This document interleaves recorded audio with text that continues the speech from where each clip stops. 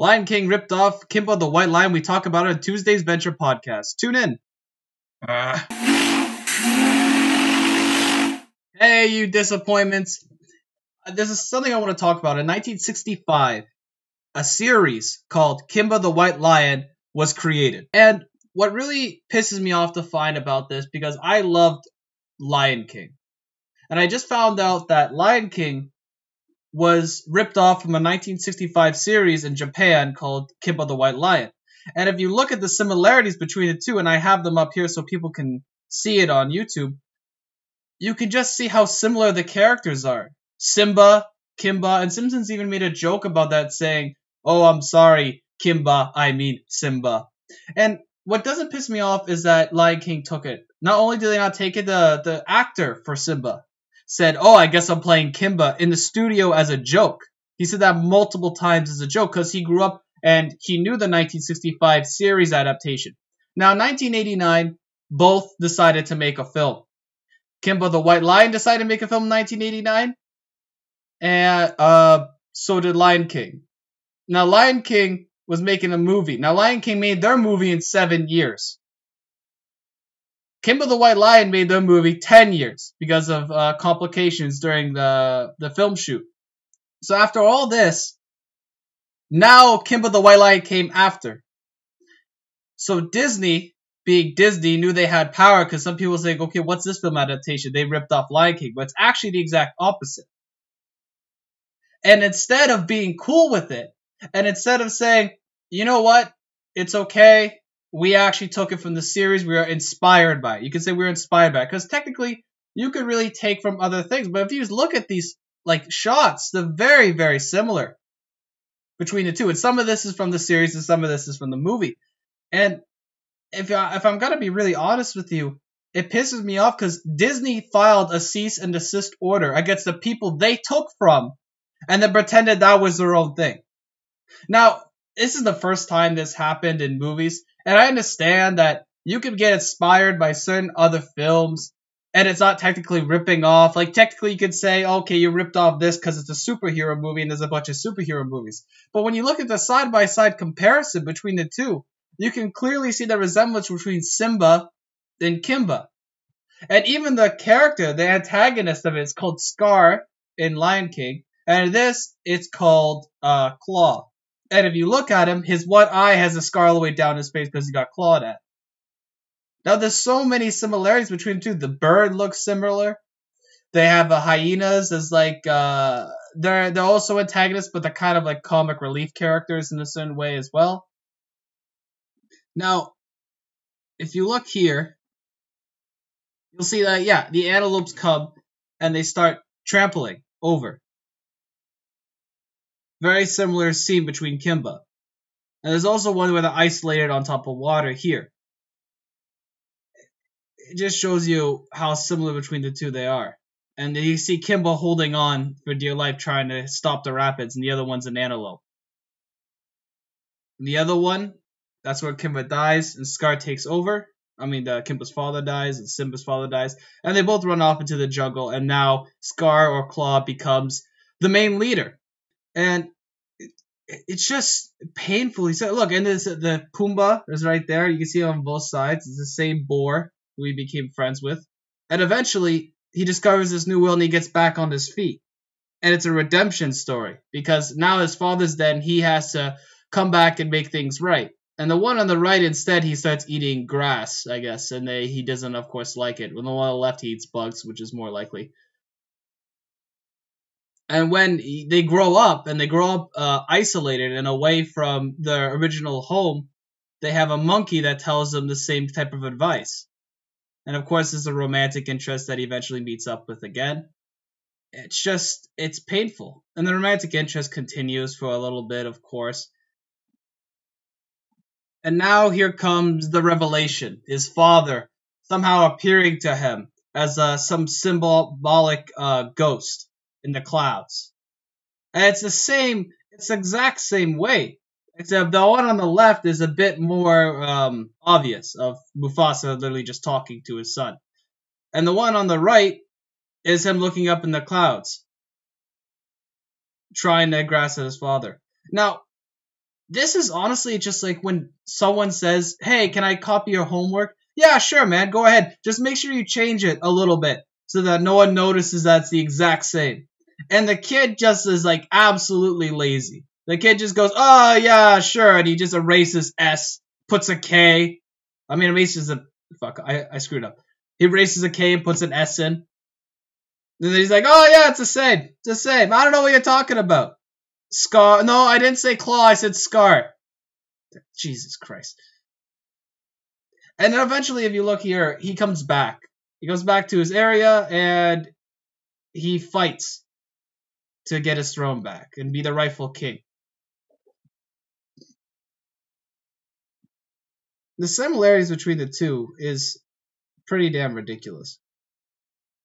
And now they're both fighting and they're at the edge. Does scene look familiar? And now, at the very end, where he's able to come back up. See, the one on the right is a bit more silly. This is the 1965 version. That's why it's it's not as animated. Like this is a this is a more than 30 year difference between the two. That's why I like to state. That's why if you look at the animation on the right, it's a bit more poor. And even then, he climbs to the very top and roars because he is now the king of the jungle. So now that that's over and I've done my venting, I'd like to talk about what's going on in the movie industry right now. There's so many sequels. If you look out there, like Transformer movies, uh, there's so many sequels of Marvel movies, uh, and there's also new creations like Ant Man, and, and even DC's trying to get in on the superhero uh, trend, and the Batman versus Superman, which is absolutely awfully written. And all these films are just trash. Like if you actually listen to the writing and how much time they spent, it is utter trash. They just add some CGI and they know it's gonna sell. And the reason why, even if it's rated bad here, they keep making these crappy films on Rotten Tomatoes is because they know for a fact that the east side of the world oh will only go see a movie by the way if it's in 3D 3D a sequel or a superhero movie that's related and they have to have characters from the superhero movies there. That's why Marvel makes so much money because not only did some of the ones get good ratings here, and Iron Man was amazing. I liked Iron Man. The first Avengers was good, but then it kind of became muddled after that. The reason why those do so well is because not only are they applied to the west side of the world with good writing, they also capitalize on the east side of the world. They have 3D superhero sequels. That's all three. So not only are they following the trend, but they actually have some good writing along the way. But now it's starting to become it's time to become it, it's too much. It's too much of the same shit. I can only look, I love a T-bone steak. All right? T-bone steaks are amazing. But if I eat a goddamn T-bone steak every night, I'm gonna get sick of it. I'm like, oh my god, a T-bone steak. That's what the movie industry feels like right now to me. It just feels like the same story retold with a different person. The only one that was a little bit de- decent was Wonder Woman, which was actually told with some conflict. And I do like uh, Gal Gadot, if I'm pronouncing that right, and uh, it just it just I don't know. Maybe I'm I'm just the one who's in the wrong here. But Ant Man, Ant Man, really? They even made a joke. Really, Ant Man? What's next? In the in the movies, Ant Man was trash, and that's because they actually went in and took the writing out because they thought it was too much, the original uh, written script, and they replaced it with more kid friendly content. It was actually going to be a funny, good movie. And when I went to go watch it, even though I begged my friends, please don't make me go watch Ant Man. I don't want to go watch Ant Man. He's like, come on, come on, we'll just laugh at it together. Come on, man, let's just go see it. I'm like, all right, fine. I saw it, it was trash. And I don't find it funny sometimes. Like, so you know, you know a movie's bad, like Sharknado, and you go see it, and you were like, ah, yeah, it's trash. And then they make another one. I'm like, stop seeing that movie. Look, I know it's funny to laugh at bad quality movies, but now you're making a market for more people to make bad quality movies, and for the people who actually want to go watch a good movie, you're gonna go see it because it's trash to laugh at it, and they know it. Sharknado was absolutely ridiculous. It was stupid, and people loved it because there was satire and they admitted they were stupid. So now you got a bunch of stupid films out there trying to be overly satire like that. Or they have bad jokes now. And when I watch the new Avengers, I know what some people say, but half the people died at the end. And I'm like, yes, it's about time. Holy crap. It's about time these superheroes had like conflict where they did. It's not just a happily ever after ending. I'm so happy they killed off half the characters. I was loving it. I love the ending. And some of the pe- I remember the person at the end of the film was like, Stark, don't let me go. Like Spider-Man holding on to him. Then so one movie was like, dude, that sucked.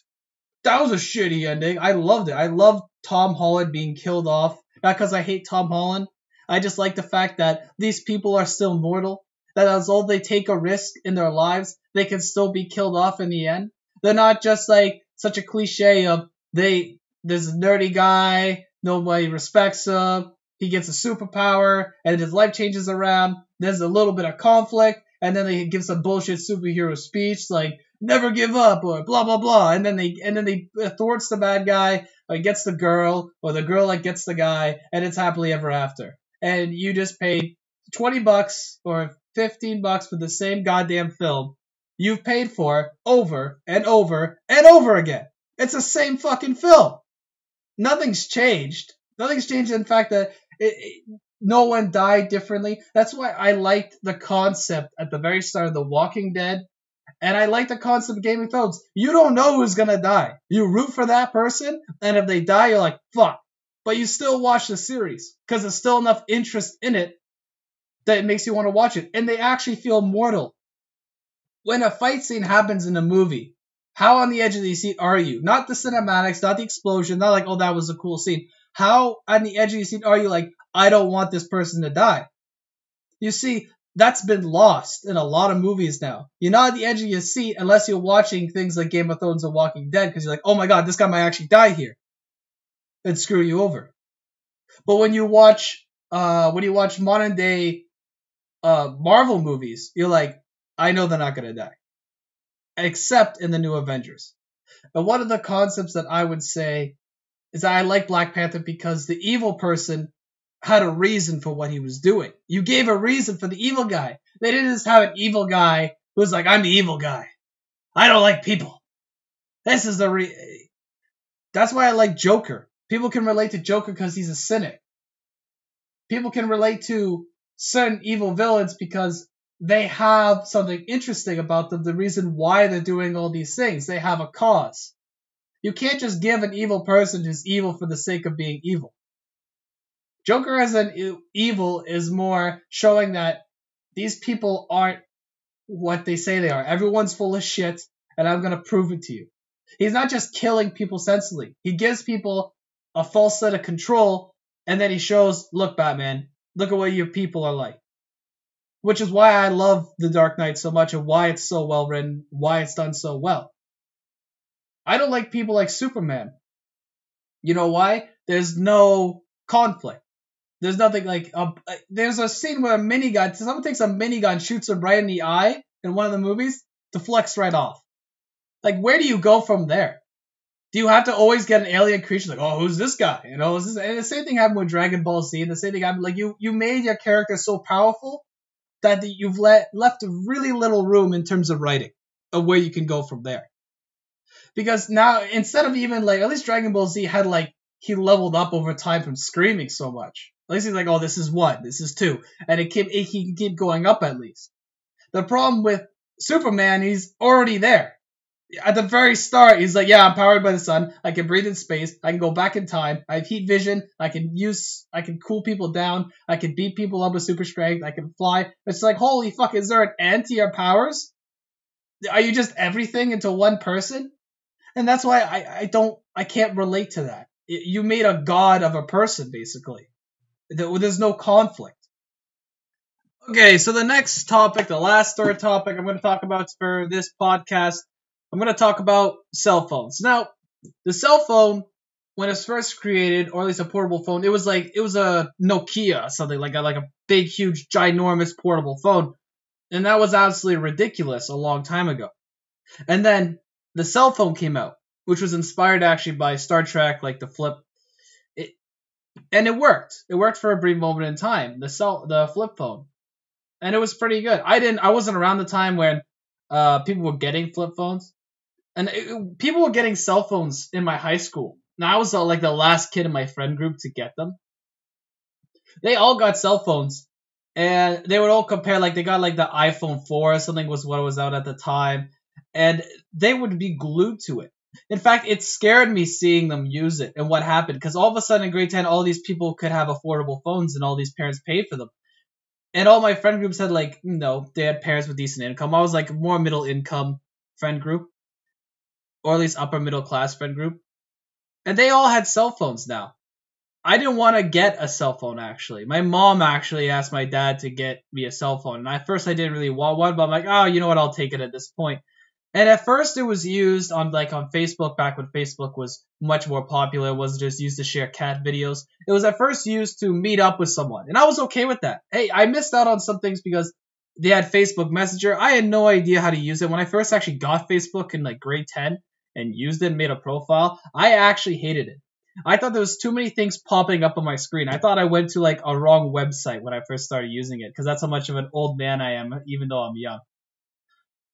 And when people started using their phones, something happened, and it, it's it's not. I don't believe it's a good thing because, and I might be just a cynic, but when you're on the bus or when you're walking down the street, it used to be like you talk to people, like the awkwardness of the moment or just standing there would make you say, "Hey, what's going on?" and you meet a new person, you socialize with other people.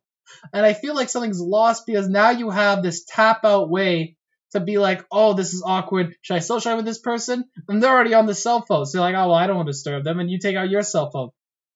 On the bus, I actually used to talk to people.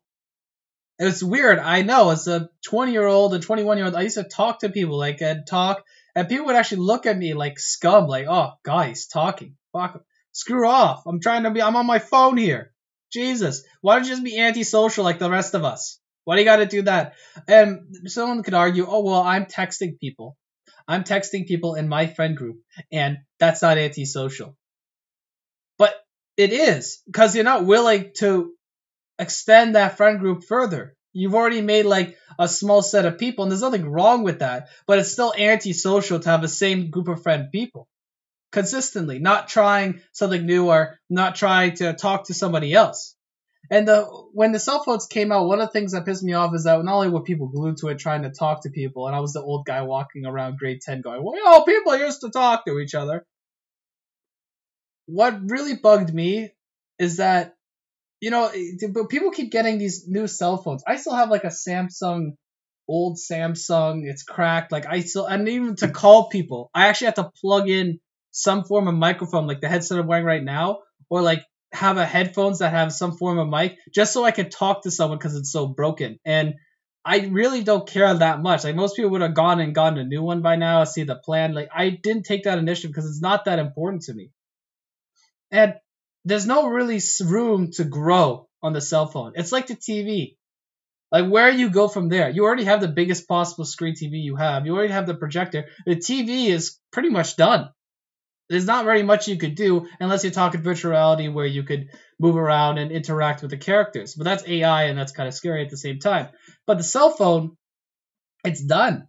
Like, how thin do you want this thing? You can call, you can text, you have all these apps. And what really pisses me off too, like a side note of the cell phone, you have all these apps now that are different. Like at first it was just Facebook. You, you post a cat video, you talk, and it was an update of your life, by the way. Facebook used to be an update of your life. Like I'm doing something new, and I knew this person in high school, and that's interesting, or elementary school, and you get to see, oh, that's what that person did, and it's nice to update. Now it's like sharing phil- philosophical stuff that makes no fucking sense. It's like sharing a, uh, uh, it's like sharing a, uh, the stars are bright, but make sure that you don't look too much at the stars and realize you're bright too. It's like, what the fuck are you talking about? What kind of bullshit is that? You just pull that out of your ass and share. And then it's not even their thing. They're sharing someone else's bullshit that's not even good. So not only is it unoriginal and stupid, you actually saw someone else say that and you said, that's what I'm gonna put on my fucking Facebook. Or they have a they have a caption. Like they have a picture of them doing something. I'm like, oh, that's interesting. And then the caption has nothing to do with it. It's just like, people always doubted me, but now here I am. And I'm here to stay. And it's like, what the fuck are you talking about? You're you're camping. What do you what? What the fuck are you talking about?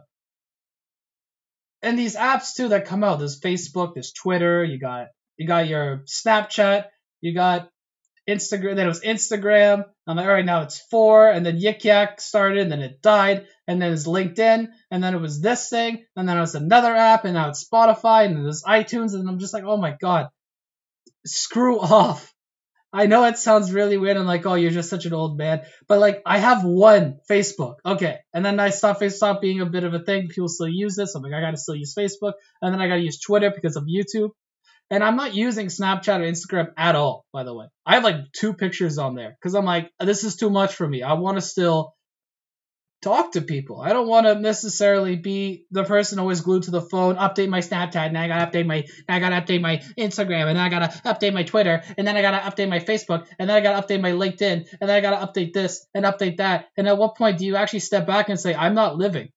I'm not living a life that I want. I'm living a life with just pictures and videos specifically to show off to other people. I'm sh- trying to show off to other people, and I'm validated by how many likes I get, by how many comments I get. Now, I don't validate myself in that same way, and obviously, if I get a bunch of likes and comments on YouTube, I'm going to be happy. But there's a certain point where you're not posting because you want to post and have fun. You're posting because you seek that validation in a certain way. And I know that might be like pseudoscience or some bullshit, but I just feel like when I look at people always on their phones and taking pictures just in that moment instead of enjoying the moment, it kind of makes me sad because people are gonna look back when they're 40 and they're gonna and they're not gonna say like, oh, I I, I had all these experiences and adventures and now I'm willing to settle down. All they were doing was like posting pictures of the cat, sharing philosophical bullshit, and trying to get the best angle in the lighting so they can do a stupid duck face while they're trying to go on a bus or something. Like it's just it pisses me off. Like you're not living, you're not talking to certain people, and you're not trying to gain or grow as an individual and do something with your life in a certain way. And I am guilty of doing similar things and staying glued to the internet, and I know that for a fact. But it's still annoying to see someone in public who's actually in public who's made the decision to go outside and do something and then you you you ruin it by being glued to your phone. Maybe I'm wrong. I don't know, but I just know that in a workplace environment, I actually tend, as a 21 year old, and I talk like an old man. I know it for a fact. I actually tend to hang around with the people who are middle aged and up. Like the friends at work, like 75% of them are older. And I'm not saying it's like, oh, I'm so mature. It's because they they could take jokes. Not only that, they could they could take jokes in the work environment stuff. If you go to a college and you try to make certain jokes, people lose their shit.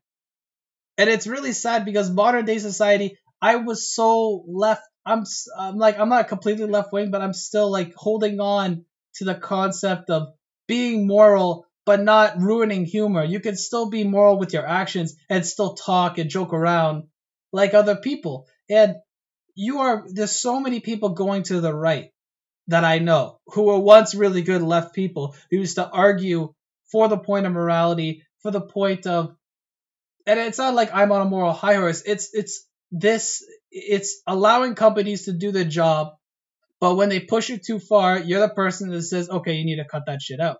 Okay, these people need to get paid more for the work they're doing here. Or we need to stop shipping these jobs over to other countries and keep them here so we're a self-sufficient country.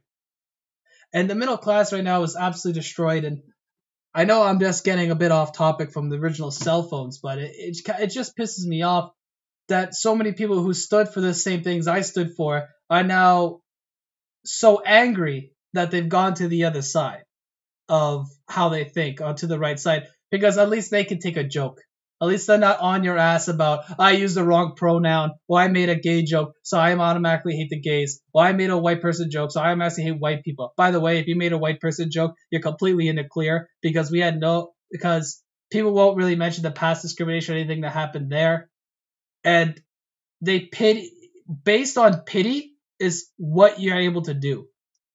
Like if a woman women discriminated before, women it took a while for them to actually be able to vote and they were abused, and they still must still are today. I'm not saying there aren't, but notice how I have to set it up that way. Notice how I had to originally start off with women are discriminated, discriminated in the past. I'm not saying some aren't. The fact that I have to defend myself as if I'm in a court case, and comedians have to do it too. You can tell the person who went through discrimination in the past and how well people can take a joke today, but they have to set up almost a pre apology. Or they say, I'm an idiot. Or what do I know I'm talking about? They know what they're talking about. They're just trying to make a joke and they can't do it because they don't want to lose a job because too many people are a fucking pussy. That's the fact. I'm offended because I will, I'm a, if you're a black person and someone makes a black joke, but they also made a white joke, also made a fat joke, also made a woman joke, and you didn't care at all as a black man, but all of a sudden they made one black joke and you lose your shit and claim it racist, that's not racist. They made a joke about a bunch of other races and sexes, and you just chose to get offended when they mentioned you. That's selfish. That's not racist. You didn't stand up when they made jokes about the other person. You didn't stand up when they made jokes about the other group. But when it's your group, now you care. That's the difference. And that's what actually pisses me off. They make a bunch of man jokes. You know why? And they don't have to set it up. They don't have to say like, oh, listen, you know, I'm not saying this for all men, and obviously some men are abused today. Watch comedians. They never have to do that. You know why? Because men can take a joke in certain way. Men don't get as much sympathy or pity in society, so they don't have to set that up. Listen next time you listen to a comedian. Really listen when they talk about or joke about women or a joke about someone who's been discriminated in the past, black people, brown people, listen to how they have to set it up unless they're that person, unless there's a black guy talking about black people, like Chris Rock or Eddie Murphy who makes jokes about black people. Chris Rock went off on certain things that black people do. If I did that same thing as a white dude, the exact same joke, people would be like, is, he a Klan member? Like, I don't, is it, what is he doing? I don't. That's the difference. Now, I'm obviously in a perfect society, people could joke around, be comfortable with each other, and understand that a comedy area is to joke around about modern day things. Even like everything is allowed in comedy. In a comedy section where you go to laugh, there's no such thing as too far, in my opinion. Unless you're singling out the people in the crowd specifically and you're just roasting one individual person. Then you're not being so much funny as you're being more of a bully, unless they say we make fun of the crowd previously, then you know what you're walking into. Then I understand. But if you're just making fun of groups as a whole, and you happen to be part of that group, and you choose to be offended, that's on you.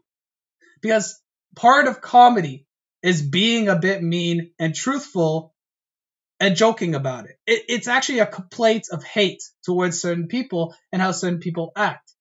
A comedian's worst nightmare is a perfect day. Because a perfect day is where do you go from there? I walked outside. The sun was really bright. It was perfect. The wind was perfect in my face. You can't make a joke out of that. Where's the joke? There's no conflict. It's a perfect day. It's like writing a movie or a story of a book. Something screwed up has to happen for it to be funny or it to be interesting. That's why I think in a perfect world, there's no such thing as a perfect world because a perfect world would be boring very quickly. Now, Uh, the concept of just when you talk about these things is that so many people lose their jobs. And like one of the things I have to say is about Louis C.K.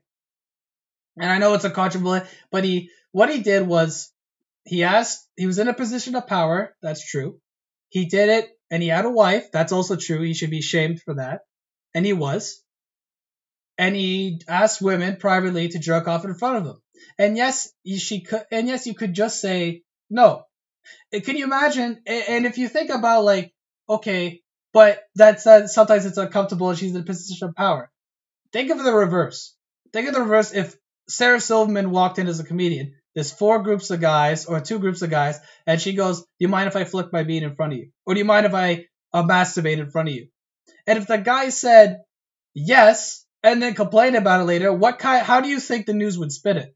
How do you think it's like? you know, and then she took off her pants, and then she did this. And I know it's a bit different because Sarah Silverman's actually good looking. So if you take someone ugly, an ugly female comic, and you say do it, you could just say no. And if you end up doing it and then regretting it, that's still on them. That's self. You made that choice. And although they're in a position of power, yes, they should be ashamed in a position of power, and they socially were. At what point do you realize this person has been punished enough? At what point do you realize that let this person have a second chance and let this person come back? Now every time someone sees Louis C.K., they lose their shit. Or worse, someone who was friends with Louis C.K. says, I don't know that guy. Hey, I don't know that guy. Hey, hey, we hung out like once or twice, and even though they like went to the guy's wedding, people all Joe Rogan even did that a little bit. He's like, listen, I know people saying this everywhere, like I don't know the guy, but we really didn't hang out too much. And he did the same line. He actually at least admitted it, but then he ended up doing it right after. And it pisses me off because no one just takes ownership. Of, yeah, he was my friend. Yeah, he screwed up. Yeah, he should be ashamed for himself. But he suffered enough. He had enough lawsuits enough. They got away with a lot of stuff that happened to Louis C.K. And now you can't laugh at his jokes because something that happened off the cuff? That's not right. That's certainly not right. And if you want to talk about right and wrong, how about the women that make false rape accusations against somebody and get off scot free? And yes, that happens all the time. There's women who, and I'm not saying this like if a woman's actually been raped, don't go say something. But they've been proven that they they have been raped, but it didn't actually happen. They did it because the boyfriend broke up. They did it because they were afraid. They did it, they did it because the boyfriend broke up, or they did it to get attention, or they did it to get money. And I know some people are saying, "Oh, how could you say that about women?" There are a bunch of bad people out there. And part of equality isn't just admitting a woman can be better than a man. Part of equality is also admitting that there are women who are worse than people in general. So you have to admit that there are women out there who are star good women. But at the same note, there are also people out there like men and women who are bad and have malicious intent. You can't just assume in equality that quality isn't about women are great no matter what. That's not equality. That's inequality. And it's and this level of balance that switch is because of past discrimination. You can't just say, "Oh, well, I don't believe you should women. You can't say that about women."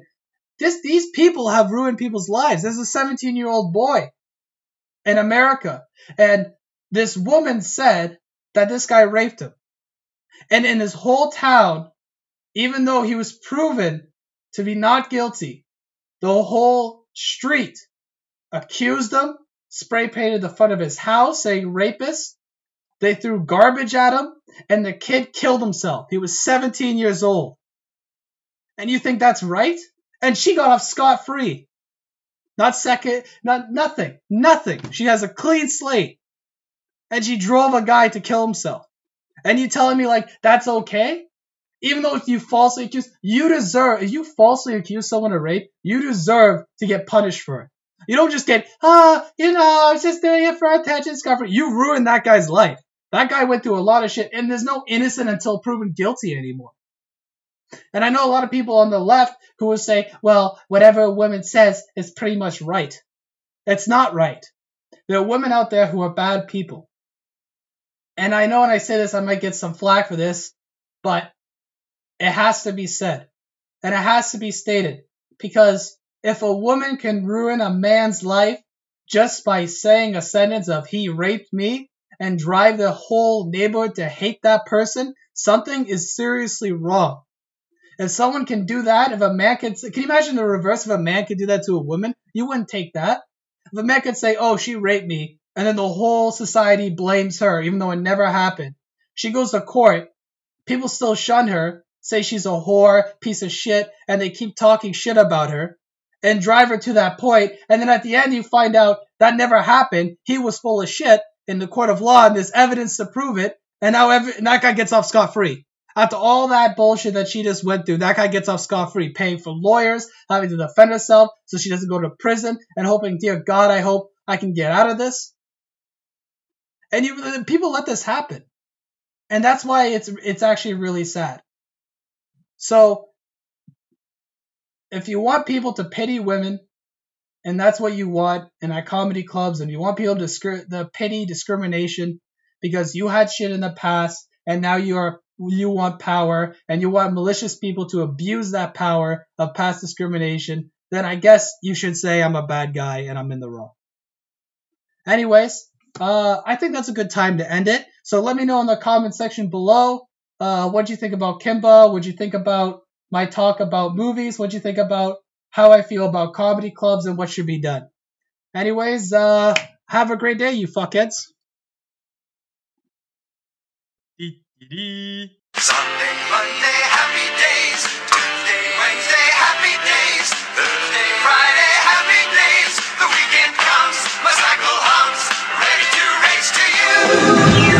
These days are